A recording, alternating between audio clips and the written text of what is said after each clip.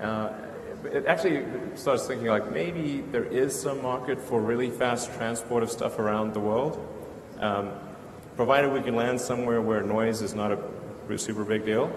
Um, rockets are very noisy, uh, but we, we could transport cargo to anywhere on Earth um, in 45 minutes at the, at the longest. So most places on Earth would be maybe 20, 25 minutes. So um, you know, maybe if we had a floating platform out off the coast of, um, you know, say uh, off the coast of New York, uh, say 20, 30 miles out, you could go from, um, you know, New York to Tokyo in, I don't know, 25 minutes.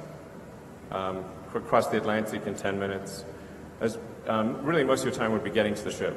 Um, and then, then it'd be real quick after that. So there's some intriguing possibilities there. Um,